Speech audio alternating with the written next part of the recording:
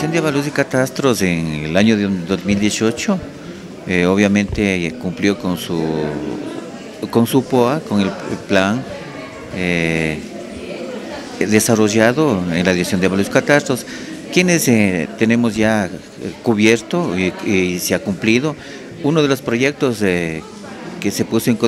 consideración fue la digitalización del catastro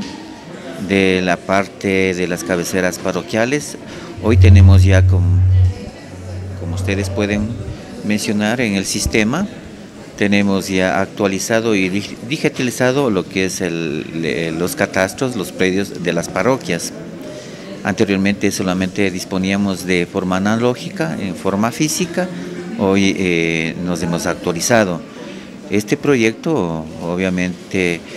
quedó pendiente porque eh, el complemento, eh, ya que solamente hemos, eh, hicimos de actualizar lo que es la parte rural, también en forma digital, el del año 2016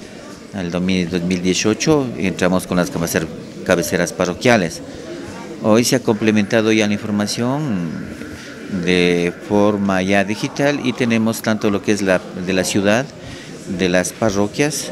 y de la parte rural. Ese es el proyecto que se ha complementado ya en 2018 y también hemos hecho la cuestión del sistema de turnos, como ustedes acaban de ver, obviamente para dar una mejor em, atención a la ciudadanía y eh, mejorar el orden, ya ha habido muchos inconvenientes porque existen muchos, muchos funcionarios que solicitan de la parte externa que se les atienda y hoy eh, hemos logrado ya culminar con este proyecto eh, de digitalización de turnos. Tenemos turnos automáticos y en fin, esos dos proyectos hemos realizado ya el año 2018. Eh, de acuerdo a la, al COTAG, a, la ley, manifiesta que la edición de avales y catastros tiene que ir actualizando permanentemente lo que es y la actualización de, los predios y de las construcciones. Eh, la edición de avales y catastros ya inició en la parte urbana con un equipo técnico interno a continuar en el levantamiento de información de las construcciones. Quiero manifestar que en algunos sectores existen ya ampliaciones de un piso a tres pisos y eso prácticamente esta dirección con el equipo técnico va realizando eh, de lunes a jueves en las horas de la tarde para encontrar, eh, realizamos en las horas de la tarde con el fin de ubicarles a los propietarios y nos permitan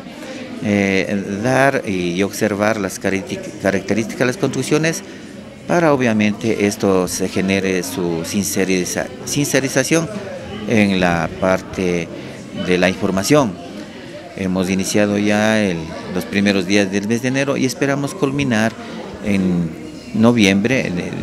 eh, en noviembre de este año. Sí, de igual manera nosotros de acuerdo a la, al COTAG, eh,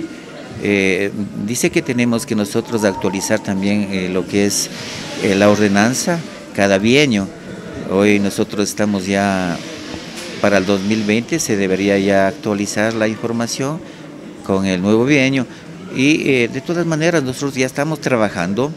en la investigación interna de, los, de la valorización de los predios, eh, haciendo un laboratorio de precios para esto, obviamente considerar en, eh, considerar en, mejorar lo que es la ordenanza, obviamente luego de este estudio se pondrá a consideración al señor alcalde y el señor alcalde pondrá en consideración a consejo para